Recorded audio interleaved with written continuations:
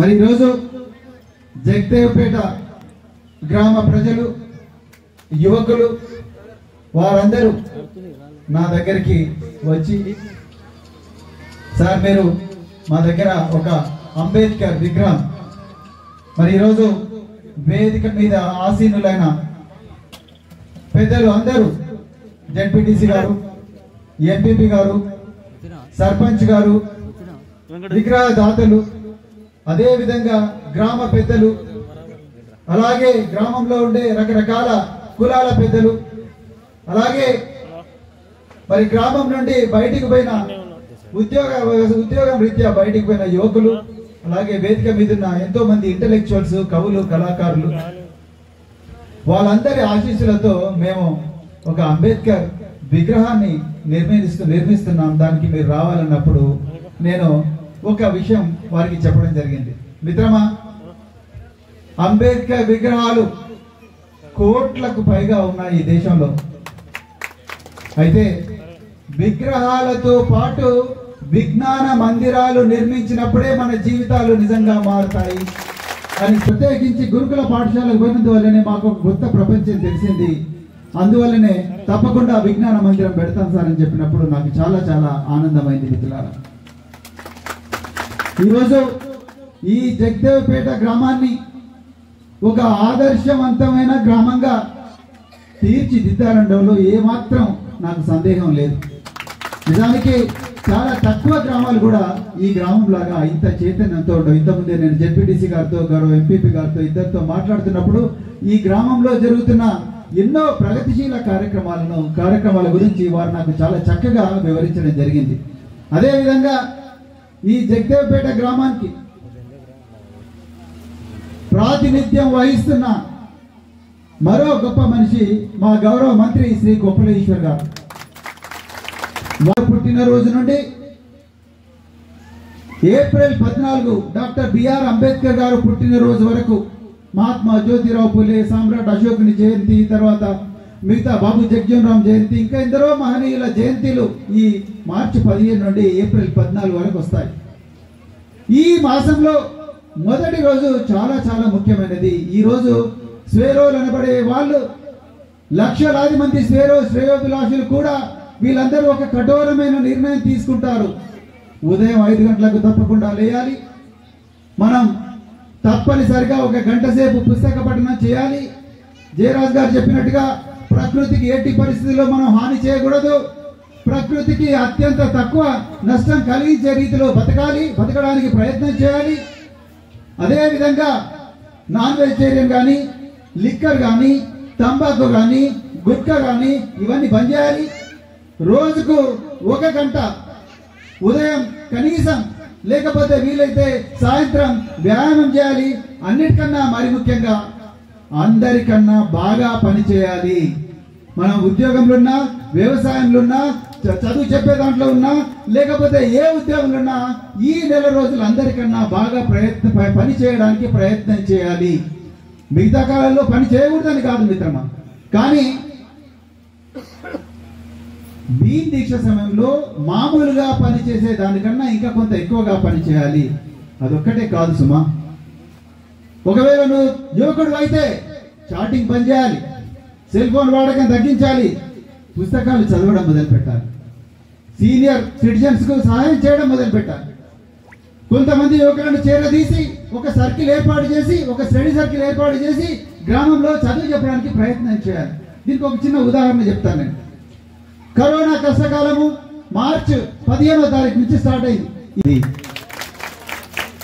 ఇరవై ఏడు వేల లర్నింగ్ సర్కిల్స్ నేను ఎందుకు చెప్పినంటే నువ్వు యువకుడు అయితే యువకుడు అయితే స్వేరో ఐడియాలజీ ప్రకారం నువ్వు పది మందికి తప్పకుండా చదువు చెప్పాల్సిందే. పది మందికి తక్కువ పది మందికి చదువు చెప్పాల్సిందే. ఇంతకుముందు నేను ఇక్కడ కూర్చున్నప్పుడు గౌరవ ఎంపీపీ గారు వాళ్ళ అమ్మాయి వచ్చింది. వచ్చి సార్ నేను చాలా చక్కగా చదువుకున్నాను. నేను ఇప్పుడు బిఎడ్ కూడా చేస్తున్నాను. సో అలాంటి అమ్మాయిలు ఇంత టాలెంటెడ్ అమ్మాయిలు మన ప్రాంతాల్లో ఉన్నప్పుడు వీళ్ళెందరూ తమ జ్ఞానం తమ జ్ఞానాన్ని మిగతా వాళ్ళకి పంచకూడదు. ఒకసారి ఆలోచించండి. స్వేరోయిజంలో భీమ్ దీక్ష సమయంలో మనకు తెలిసిన విషయాన్ని పది మందికి తప్పకుండా పంచవలసిందే.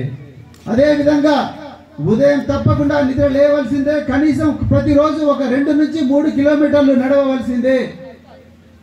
మూడవది మనం ఎంతో డబ్బులు ఖర్చు పెడుతుంటాం. ఈ భీమ్ దీక్ష సమయంలో వృధా ఖర్చులు మానేసి ఆ డబ్బులన్నీ కూడా గల్లపెట్టెలో వేసి పొదుపు చేసి ఆ పొదుపు చేసిన డబ్బును పొదుపు చేసిన డబ్బును విద్యానిధిలో పెట్టి ఆ విద్యానిధిని పేద పిల్లలు ఎవరైతే గొప్ప గొప్ప యూనివర్సిటీలకు పోతున్నారో ఆ యూనివర్సిటీలోకి పోయే పిల్లలకు డబ్బులు మనము విద్యానిధి నుంచి గ్రాంట్గా ఇవ్వవలను.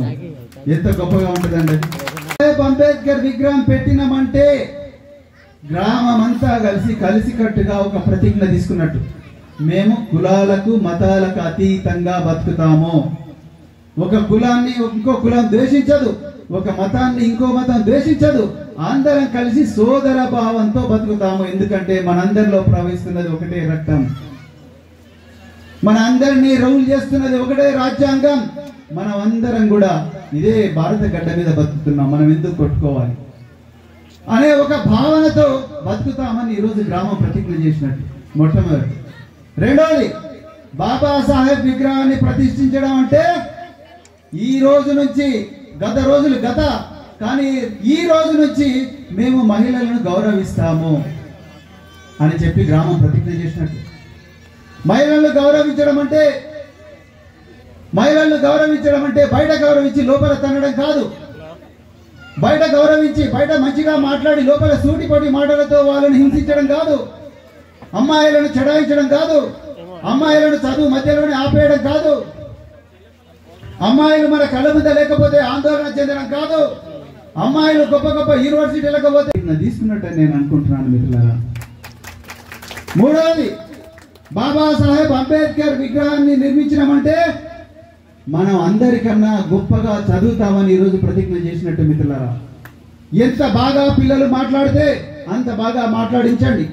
ఎంత బాగా అమ్మాయిలు మాట్లాడితే అంత బాగా మాట్లాడించండి. నేను చాలా గ్రామాల్లో చూశాను. ఎంతో మంది ప్రజాప్రతినిధులు స్టేజ్ మీదకి వచ్చిన వెంటనే ప్రత్యేకించి మహిళలు మాట్లాడడానికి భయపడుతున్నారు. ఈ భయం ఎక్కడి నుంచి వచ్చింది వాళ్ళకి? ఈ గ్రామం ఈ గ్రామం ఒక ఎక్సెప్షన్ కావచ్చు. కానీ జనరల్గా మనం అమ్మాయిలతో మాట్లాడించలేకపోతున్నాం. వాళ్ళు పెద్దగా తల్లులు అవుతున్నారు తల్లి తర్వాత ప్రజాప్రతినిధులు అవుతున్నారు లేకపోతే ఉద్యోగస్తులు అవుతున్నారు. వాళ్ళెవరు ఒక స్పీచ్ ఇవ్వమంటే ఇవ్వలేకపోతున్నారు. ఈరోజు బాబాసాహెబ్ అంబేద్కర్ విగ్రహం పెట్టినామంటే మహిళలను కూడా గొప్పగా వ్యక్తులుగా వక్తలు ఇస్తామని చెప్పి ఈరోజు మనం ప్రమాణం చేస్తున్నట్టు అని నేను అనుకుంటున్నాను మిత్రులారా ఎందుకంటే Babasaheb Hindu code bill pass కానప్పుడు మహిళలకు వెళ్ళిపోయాడు. గట్టి కోచలాగా తీసి వెళ్ళిపోయాడు. నేను అంత గొప్ప మహనీయుని విగ్రహాన్ని ఈ గ్రామాల్లో ప్రతిష్ఠించినప్పుడు మనం తప్పనిసరిగా తప్పనిసరిగా మహిళలకు స్వేచ్ఛనివ్వాలి అదే విధంగా అమ్మాయి అబ్బాయిలకు కూడా చిన్న పిల్లలు. చిన్న పిల్లలను కూడా విజ్ఞాన మందిరం పెట్టినామంటే సమయం దొరికినప్పుడల్లా టీవీ చూడకుండా లేకపోతే ఇంకేవో వృధా కార్యక్రమాల్లో పాల్గొకుండా పిల్లలందరినీ కూడా తల్లిదండ్రులు తీసుకొచ్చి వాళ్ళందరితో కలిసి మీకు చదువు వస్తే చదువు చదివి లేకపోతే మీరు పిల్లల ద్వారా చదువు నేర్చుకొని మీరు పిల్లలు ఇద్దరు కలిసి చదవడమే జ్ఞాన యుద్ధం లేకపోతే మనం చదువుతాం కానీ ఆ చదువు మనకు బయట ప్రపంచంలో అయితే పనికిరాదు. లేకపోతే చదువు మీద ఇంట్రెస్టే రాదు. మరి అంటప్పుడు ఏం చేయాలి? అందుకొరకు తల్లులు పిల్లలు తండ్రులు అందరూ కలిసి తమ ఇళ్ళనన్నింటి కూడా గ్రంథాలయాలుగా మార్చుకోవాలి పాఠశాలగా మార్చుకోవాలి. అప్పుడే మన జీవితాలు నిజంగా మారతాయి. ఈరోజు మనకు తెలియని ఒక మహమ్మారి కరోనా కన్నా ప్రమాదమైన మహమ్మారి ఈరోజు మన దగ్గరకు వచ్చింది. అదే data. Free data. Smart phones smart phone నువ్వు తయారు చేయవు. డేటా నువ్వు తయారు చేయవు. డేటాలో ఉండే స్మార్ట్ ఫోన్ ఉండే యాప్ నువ్వు తయారు చేయవు. కానీ ఇరవై నాలుగు గంటలు నువ్వు ఆ స్మార్ట్ ఫోన్లోనే ఉంటావు. వీడియోలు చేస్తావు సెల్ఫీలు చేస్తావు స్టోరీలు పెడతావు వాట్సాప్లో స్టేటస్ పెడతావు చాటింగ్లు చేస్తావు. కానీ దీంట్లో ఎక్కడ కూడా నీకు ఒక పైసా రాదు మిత్రమా? ఆ డబ్బంతా కూడా అమెరికా నుండే మార్క్ జుకర్బర్గ్కో లేకపోతే బిల్ గేట్స్కో లేకపోతే టిమ్ కుక్ వీళ్ళకి పోతుంది. మన డబ్బులు అట్లనే బికారిగా పోతూనే ఉంటాయి మిత్రులారా. అదే డబ్బు నేను వ్యాపారం ఏ విధంగా చేయాలి? నేను పాఠశాలలో చదివి ఈరోజు ఈఎస్ఐ మెడికల్ కాలేజ్లో డాక్టర్గా సెలెక్ట్ అయినాను. ఈరోజు నూట ఎనభై తొమ్మిది మంది తెలంగాణ బిడ్డలు అత్యంత పేదరికం ఉన్నప్పటికీ కూడా చదివి ఎందుకంటే నేను డాక్టర్ కోర్స్ గురించి ఎందుకు చెప్తున్నా అంటే మా చెల్లెలు డాక్టర్ అండి. మా బావ కూడా డాక్టర్. నిజంగా చాలా చాలా పేదరికం నుంచి వచ్చిన కుటుంబాలు మావి. మా అమ్మలు మా అమ్మమ్మలు మా అమ్మ మా చిన్నమ్మలు పెద్దమ్మలు అందరూ కూడా కూలి పని చేసేవాళ్ళు. మా అమ్మ ఒక్కతే చదువుకున్నది. ఈరోజు చదువుకున్నది వల్లనే హెడ్ మిస్టర్స్గా రిటైర్ అయింది. చదువుకున్నందు వల్లనే మమ్మల్ని అందరినీ చదివించినందుకే ఒక తల్లిగా ఒక ఐపీఎస్ ఆఫీసర్కి తల్లైంది ఒక అసోసియేట్ ప్రొఫెసర్కి తల్లైంది. మా తల్లి మా తమ్ముడు కూడా ఇక్కడే ఉన్నాడు. అసోసియేట్ ప్రొఫెసర్ తల్లైంది ఒక డాక్టర్కి తల్లైంది ఒక ఎమ్మెల్యేకు అత్తమ్మైంది చదువు చదువు. అందుకొరకే నా రిక్వెస్ట్ ఏంటంటే విజ్ఞాన మందిరాలు చాలా ఇంపార్టెంట్. అందుకొరకు దయచేసి పిల్ల జిల్లా అందరు కూడా మీ అందరికీ పివి సింధు గురించి తెలుసు అనుకుంటాను బ్యాడ్మింటన్ ప్లేయర్. పివి సింధు గురించి తెలుసా మీ అందరికి? పివి సింధు గారి ఏ బ్యాడ్మింటన్ అకాడమీలో ఆమె కోచింగ్ తీసుకుంటుందో ఒక రోజు ఉదయం ఆరు గంటలకు మేము పోయినాం. నాలుగు గంటలకే వచ్చి ఉంటారంట అక్కడ. పివి పుల్లెల గోపిచంద్ వాళ్ళ అమ్మగారు మూడున్నరకే వచ్చి కూర్చుంటారు బ్యాడ్మింటన్ అకాడమీలో. నేను అన్న అమ్మగారు మీరు మూడున్నరకి ఎక్కడ వచ్చి కూర్చుంటారు మీ వయసు డెబ్బై సంవత్సరాలు అంటే ఆమె అంటది. అయ్యా నేను మూడున్నరకు వచ్చి ఎందుకు కూర్చుంటానంటే నాలుగు గంటలకే వందలాది మంది చిన్నారులను తీసుకొని తల్లిదండ్రులు మోటార్ సైకిళ్ళ మీద కార్లలో వచ్చి మా బిడ్డలందరూ కూడా పీవీ సింధులాగా ఛాంపియన్స్ కావాలని చెప్పి పిల్లల కోసం త్యాగం చేస్తారు తల్లిదండ్రులు. ఈ రోజు ఈ దేశానికి కావాల్సింది అలాంటి తల్లిదండ్రులు నాయన అని చెప్పిన మా దగ్గర నందిని ఒక అమ్మాయి ఉన్నది. తండ్రి నందిని తండ్రి చాయ్ షాప్లో పనిచేస్తాడండి. చాయ్ అమ్ముకుంటాడు హైదరాబాద్ నగరంలో. తల్లి ఇళ్ళలో పనిచేస్తుంది. టైం దొరికినప్పుడల్లా పే మిగతా సిటీలో ఉండే బట్టలన్నీ తెచ్చుకొని ఆ బట్టలను ఇస్త్రీ చేసి ఆ ఇస్త్రీ చేసి డబ్బులు సంపాదించుకుంటుంది ఆ మహాతల్లి? ఈ రోజు నందిని ఎక్కడున్నది? లూధియానాలో ఉన్నది. ఇండియాలో కేలో ఇండియాలో నాలుగు గోల్డ్ మెడల్ సంపాదించింది నందిని. నందిని. అదే విధంగా ఇక్కడ నుంచి గోదావరి దాటంగానే కొత్తూరి ప్రణయ్. మంచిర్యాల దగ్గర మంచిర్యాల జిల్లాలోని బెల్లంపల్లి ప్రాంతంలో కాసిపేట గురుకుల పాఠశాల చదువుతున్నాడు. తల్లిదండ్రులు ఇద్దరు కూడా కూలీలే. కానీ ఆయన గట్టిగా చప్పట్లు కొట్టండి. కరోనా ఉంది. మరి ఎట్లా గోల్డ్ మెడల్ తెచ్చుకున్నాడు? అక్కడనే ఉంది. సీక్రెట్ కరోనా కాలంలో కూడా ప్రణయ్ వాగుల దగ్గరికి పోయి వంకల దగ్గరికి పోయి వాగుల ఉష్కనే ఒక బెడ్గా మార్చుకొని అక్కడ వానొచ్చినా ఎండొచ్చినా రాత్రైనా పగలైనా రోజు ప్రాక్టీస్ చేసిండండి ఆ పిల్లగాడు. అందుకొరకే ఈరోజు తెలంగాణకు ఒక రత్నం లాగా మారిండు కొత్తూరి ప్రణయ్. అలాంటి బిడ్డలను ప్రోత్సహించే తల్లిదండ్రులుగా మారాలనే ఈ రోజు మీరందరూ కూడా అంబేద్కర్ విజ్ఞాన మందిరాన్ని పెట్టిందని నేను అనుకున్నాను. మళ్ళీ మళ్ళీ చెప్తున్నాను పూజా గదితో పాటు పుస్తకాల గది కూడా ప్రతి ఇంట్లో ఉండాలి. మీరు ఆత్మశాంతి కోసం మనశ్శాంతి కోసం పూజలు చేసుకోండి నో ప్రాబ్లం అది మీ విశ్వాసం నో ప్రాబ్లం. కానీ పుస్తకాలు కూడా చదవడం నేర్చుకోండి. ఇంతకుముందు జయరాజ్ గారు అన్నారు మనం మనకు కింది పెట్టిన ప్రకృతి మాత్రమే మనం మర్చిపోయాం. ప్రకృతి మాతతో పాటు మనకు ఒక గొప్ప ప్రపంచాన్ని చూపించిన బాబాసాహెబ్ లాంటి గొప్ప వ్యక్తులను కూడా మనం మర్చిపోకూడదు. అందుకొరకు వారి బొమ్మలు కూడా మీ ఇళ్ళలో పెట్టుకోండి. పిల్లలకు గర్భంలో ఉన్న పిల్లలకు పరిచయం చేయించండి. గర్భంలో ఉన్నప్పుడే పిల్లలకు భౌతిక శాస్త్రం గురించి చెప్పండి. గర్భంలో ఉన్నప్పుడే పిల్లలకు మ్యాథమెటిక్స్ గురించి చెప్పండి. ఇళ్ళలో ఇంగ్లీషు మాట్లాడడానికి ప్రయత్నం చేయండి. ఎందుకు? డబ్బున్న వాళ్ళే కరీంనగర్లోనే మాట్లాడాలా ఇంగ్లీషు? డబ్బున వాళ్ళు జూబ్లీస్ బంజారీస్లోనే మాట్లాడాలన్నా ఢిల్లీలోనే మాట్లాడాలన్నా బెంగళూరులోనే మాట్లాడాలన్నా జైరాపేటలో ఎందుకు మాట్లాడకూడదు మా జగదేవ్పూర్లో మా చెల్లెలు కూడా చేస్తారు మా బిడ్డలు కూడా చేస్తారు అని చెప్పి వాళ్ళ కోసం ఒక సినిమా స్కూల్ కూడా పెట్టామండి. గట్టిగా చప్పట్టు కొట్టండి మినిస్టర్ గారు. అదే విధంగా అదే విధంగా ఒక సత్యనాథులైనా ఒక సుందర్ పిచ్చ అయినా కోట్లు సంపాదించేది మా జగదేవ్పూర్లో వెల్గటూరులో కోటి లింగాల్లో ఉండే మా బిడ్డలు కూడా రేపు కోడింగ్ చేస్తారు బిడ్డ. కోడింగ్ చేసి కోట్లు సంపాదిస్తారు. ఎయిర్పోర్ట్ మేము శంషాబాద్ పోము. ధర్మపురి నుంచి వెల్గటూరు మధ్యలో ఒక వంద ఎకరాల భూమి కొని ఎయిర్ స్ట్రిప్ పెట్టుకుంటాం. అక్కడి నుంచి హెలికాప్టర్లు వేస్తారు సర్పంచ్ గారు వేస్తారేమో ఆ విధమైన సముద్ర గర్భంలోకి ఒంటరిగా పోగలిగినప్పుడు ఒక అనాథ బిడ్డ దర్శనాల సుష్మ ఆకాశం నుంచి అమాంతంగా పదివేల ఫీట్ల నుంచి భూమి మీదకి దుక్కి సజీవంగా ఉన్నప్పుడు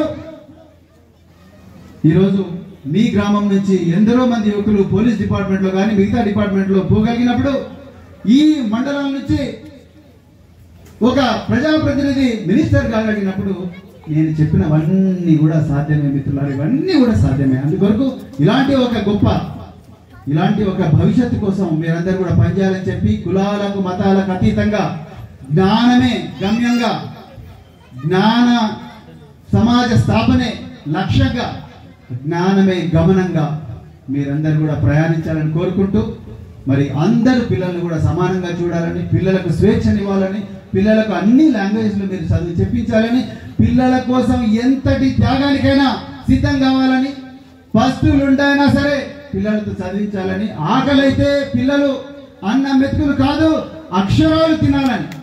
అన్న మెతుకులు కాదు అక్షరాలు తినాలని. బీర్లు కాదు బుక్కులు కావాలని లిక్కర్ కాదు లైబ్రరీలు కావాలని కళ్ళు కాదు కంప్యూటర్లు కావాలని కొడవాళ్ళు పట్టిన చేతులతోనే కోడింగ్ కూడా చేయాలని ఈరోజు జగదేవ్పేటలో గ్రామస్తులందరూ కూడా తీర్మానం చేసిందని అనుకుంటున్నాను.